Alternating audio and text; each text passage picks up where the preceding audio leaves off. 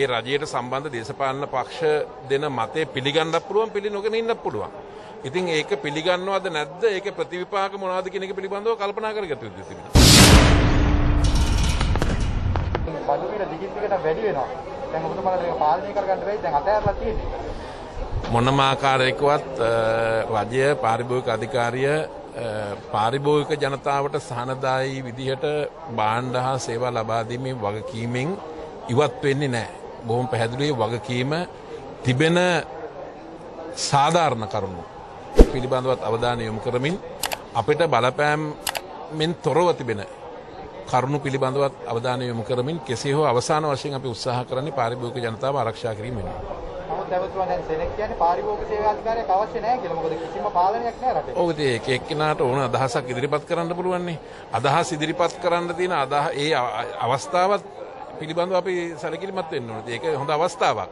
ඉතින් ඒක යනු ඕන කෙනෙකුට ඕන අදහසක් ඉදිරිපත් කරන්න පුළුවන්.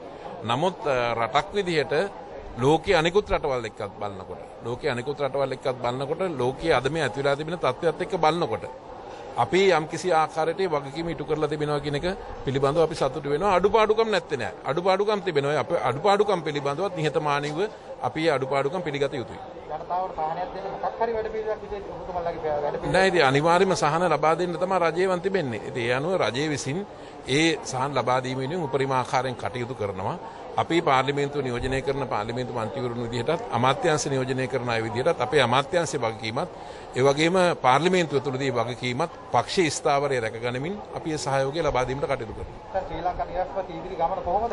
ශ්‍රී ලංකා නිදහස් පක්ෂයේ ඉදිරි ගමන ඉතාමත් සාර්ථකයි.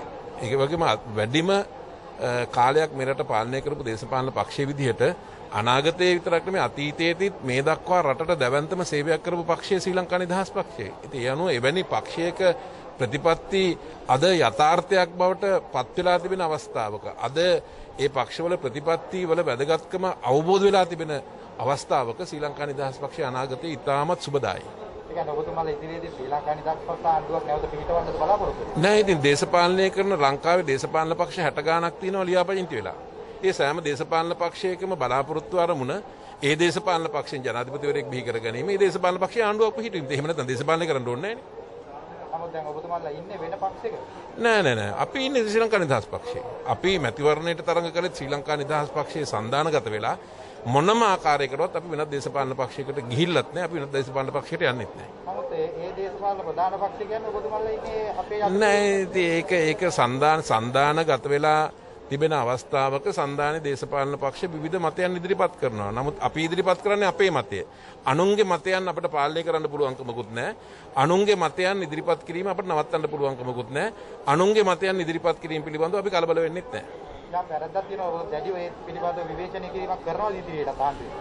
මොකද්ද ඔබතුමා මට හරි ප්‍රශ්න දැන් මේ වෙනකොට පොහොර ප්‍රශ්නේ ඇවිල්ලා තියෙනවා. ඔබතුමාලා ඉන්නේ කොතනද රසායනික පොහොර අවශ්‍ය කියන මේ රටේ අද ඇති වෙලා තිබෙන සෑම ප්‍රධාන ප්‍රශ්නයකටම ගුරු ප්‍රශ්න වෙන්න පුළුවන් මැතිවරණ ක්‍රමය වෙන්න පුළුවන් ආණ්ඩු ක්‍රම ව්‍යවස්ථාව පිළිබඳව වෙන්න පුළුවන් පොහොර ප්‍රශ්න වෙන්න පුළුවන්.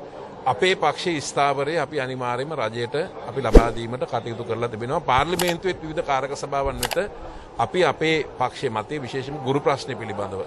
අපේ ශ්‍රී ලංකා නිදහස් පක්ෂ ගුරු සංවිධානය අපේ මතය අපේ යෝජනාව අපි ඉදිරිපත් කළා. ඉතින් ඒ වගේම අපි රජය තුළ නියෝජනය කරන දේශපාලන පක්ෂයක් විදිහට ඉදිරිපත් කළ යුතු තැන් සඳහා අවශ්‍ය යෝජනා අපේ මතේ මොකක්ද කියන එක අපි අනිවාර්යයෙන්ම ලබා දීමට කටයුතු කරලා තිබෙනවා. නමුත් නමුත් මේ වෙනකොට ඉන්දියාවෙන් පෝර ඇවිල්ලා තියෙනවා. නමුත් ආණ්ඩුව කිව්වේ සල්ලි රටේ ජනතාවට යනවා. ඔබතුමාලා කොතනද නමුත් දැන් මේ තේරුම් නේද අපේ අපේ මතය අපි ඉදිරිපත් කරලා තිබෙනවා. ඉතින් ඒ අනුව ඒ රජය ඒ මතය පිළිබඳව අවධානය යොමු කරමින් තීරණ ගනී. ඔබතුමාලා පිළිගන්නේ නැහැ වගේ රජය. මොකද්ද? ශ්‍රී ලංකා නිදහස් පක්ෂේ මතේ පිළිගන්නේ නැද්ද රජය? නෑ ඉතින් ඒක ඒක ඒ රජයේ තිබෙන මේ අයිතියක්නේ. රජයකට පුළුවන් ඒ රජයට සම්බන්ධ දේශපාලන පක්ෂ දෙන මතය පිළිගන්නත් පුළුවන් පිළි නොගෙන ඉන්නත් පුළුවන්.